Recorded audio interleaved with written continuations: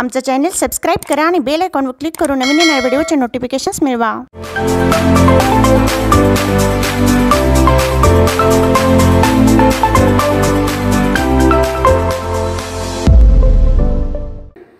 Today we are going to discuss about our new text बु textbook of twelfth standard already we all know that uh, about this cha- changing pattern because last year you have studied all these pattern and uh, new pattern of textbook and exam our new textbook is consists of four sections. The first section is prose section. In this first section, here are eight prose, and the second section is poetry section. It also consists of eight poet poems. Third section is a writing skill. In this writing skill, first one is summary writing, second one is map mind mapping, third one is note making, fourth one is statement of purpose, fifth one is drafting a virtual message, and sixth one, last one is a group discussion. These all writing skills are very useful in your life because this, this will mold your personality well and it will be useful in your future where you will do your work. The last section of our uh, textbook is uh, drama. Already last year you have studied about drama but this year we will study about history of novel and after that from 4.2 to 4.4 we will study about uh, study of three novel novels after that we will see what will be changing pattern of our question paper board question paper or annual question paper. This activity set already you have faced in 11th standard but this year is also necessary thing. So we will discuss about it the first question of our board question. Will be read the read the following extract and complete the activities given below? You all know that there is a first activity before given extract and this activity is based on global understanding or it means complex factual question. This question is depending upon whole summary of given extract. This question is very important because this is means all questions are very important but this question is depending on all extract or passage given passage. This question is for 2 marks Total first question is for 12 marks. First question consists of A1 to A6. Second question will be inference or uh, second question means second activity will be uh, inference or interpretational question for 2 marks. Then question a3 means third question will be of guessing or conclusion conclusion question. Question A4 is depend upon word vocabulary means word treasures. Uh, opposite words may be similar words or maybe compound nouns. These word these questions is for 2 marks. And if I a five. here we can write our own personal opinions. Means this question is a personal response questions. Here your own views are very important and it gets very good marks.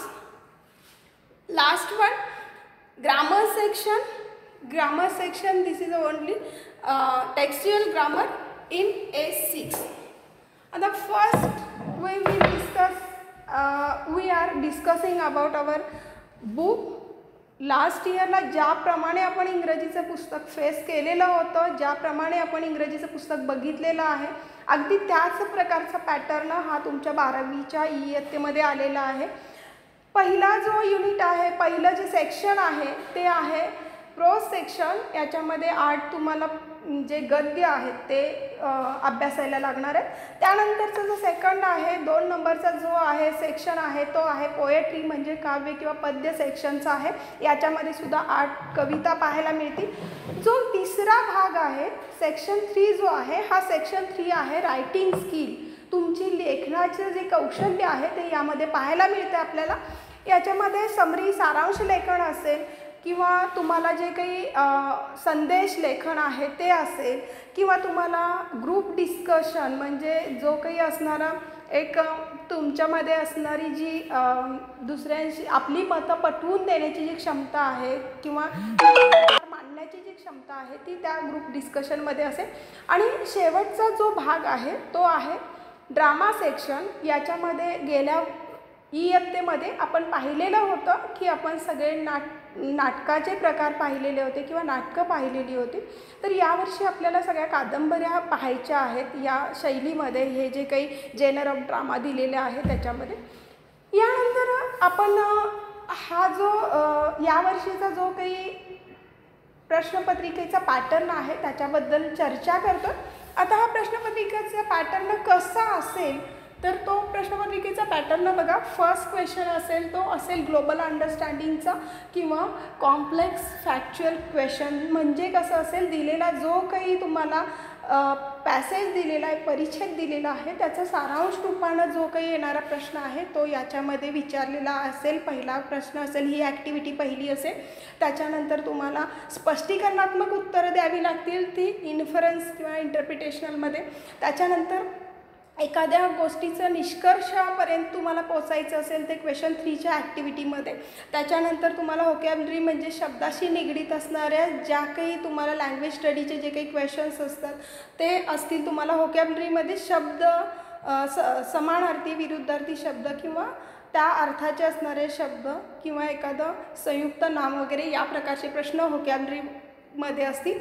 आणि त्यानंतर असतील personal response म्हणजे तुमचं असणारं वैयक्तिक मत याच्या या प्रश्नामध्ये मांडायचं. आहे आणि त्यानंतर असेल ते ग्रामर सेक्शन व्याकरणाचे दोन प्रश्न तुम्हाला या सहाव्या ए सिक्समध्ये दिलेले असतील. त्यानंतरचा क्वेश्चन एमधला बी जो असेल क्वेश्चन फर्स्ट बी जो असेल त्यामध्ये फक्त तुम्हाला ग्रामर सेक्शन असेल याच्यामध्ये डू ॲज डायरेक्टेड ज्याप्रमाणे सूचना दिल्या असतील त्याप्रमाणे तुम्हाला ते सॉल्व करायला सांगितले असतील. Here will be four question for solving तुम्हाला चार प्रश्न याच्यामध्ये सोडवण्यासाठी दिलेले असतील it means our first question will be consist of sixteen marks first question first A will be twelve mark of 12 mark and second will be 4 marks. Total 16 marks for first question. The next question means second question. Read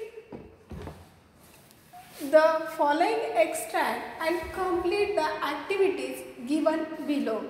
Here will be unseen passage. In first question, we have seen that there will be seen passage and in the second question there will be unseen passage. The sequence of activities will be same as above or as in first question means our A1 question will be global understanding or complex factual question. A2 will be guess uh, in inference or interpretational question. Third activity will be guessing or conclusion. Th- uh, fourth one also depending on, upon vocabulary a5 also depending on personal views personal response question and a6 will be grammar section. The sequence will be same as our first questions but in b question the se- sequence is changed. In for in second b we will write summary on given extract question सेक बघा question second जो आहे तो question first सारखाच त्याचा क्रम असणार आहे. First question जो असेल global understanding or complex factual question असेल. त्यानंतर सेकंड असेल तसाच अगदी जसा आपण मागं बघितला तसा. त्यानंतर थर्ड फो सेकंड क्वेश्चन इन इन्फरन्स किंवा इंटरप्रिटेशनल असेल थर्ड असेल तो गेसिंग किंवा कन्क्ल्युजनचा असेल फोर्थ वन असेल तो वोकॅबलरी शब्दांशी निगडीत असणारा असा हा शब्दार्थांशी निगडीत किंवा शब्दांशी निगडीत असणारा असा हा क्वेश्चन असेल. त्याच्यानंतर एफ हाय जो असेल तो पर्सनल रिस्पॉन्सचा तुमच्या वैयक्तिक मताशी निगडीत असेल. त्या रिलेटेड टू गिवन एक्स्ट्रॅक्ट जसा तो तुम्हाला दिलेला पॅसेज असतो त्या पॅसेजशी निगडीत तुमची मतं विचारलेली असं त्याच्यावर एखादा असा प्रश्न विचारलेला असतो की तुमचं स्वतःचं ओपिनियन तुमचे काय विचार आहेत ते जाणून घेण्यासाठी. आणि त्यानंतर ए सिक्स असेल तो पुन्हा एकदा ग्रामर सेक्शनवर डिपेंड असेल. याच्यातला हा क्वेश्चन सेकंडमधला जो बी आहे हा बी कसा असेल तर सारांश लेखनाचा असा हा प्रश्न असेल. In our next period we will discuss about summary writing आपण रायटिंग स्किल जेव्हा घेणार आहोत तेव्हा आपण त्याच्यावर चर्चा करू. हे सारांश लेखन कसं असतं आणि कसं लिहायचं याच्याबद्दल गेल्या वर्षी तुम्ही हे आधीच लिहिलेलं आहे किंवा तुम्हाला ते जमतं त्याच प्रकारे. Summary writing for three marks तुम्हाला समरी रायटिंग तीन मार्कासाठी. Question second C will be note making तुम्हाला गिवन पॅसेज जो आहे तो पॅसेज जो आहे त्या पॅसेजवर तुम्हाला नोट मेकिंग करायचं. आहे तुम्हाला दिलेली जी माहिती आहे जो डाटा आहे तो मा दिलेला त्यांच्या पॅटर्नमध्ये तुम्हाला तो कंप्लीट करायचा असतो. अशा प्रकारे हा क्वेश्चन सेकंड जो आहे तो नोट मेकिंग हा तीन मार्कासाठी आहे. Total our second question consist of first passage for twelve marks After that question second B for 3 marks and question second C for 3 marks total this question of for sixteen marks uh, sorry eighteen marks. Question third will be on depending on poetry section read the extract and complete the activities given below for 10 marks. A1 and A2 both are activities depend upon given poetry sections extract. Question third will be personal response questions for 2 marks. A4 for poetic devices means figure of speech. And question 5 poetic creation means here you should use your imagination power and your own creativity. These all questions for 2 marks means question third a for 10 marks. After that questions third b question third B. Question third B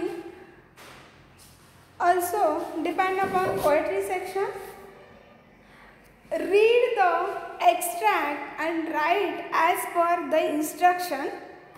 Means you should write an appreciation of poem considering the points given points. तुम्हाला जो काही हा poetry सेक्शनचा हा जो भाग आहे question third जो आहे तो पूर्णपणे कवितेवर आप अवलंबून असणारा.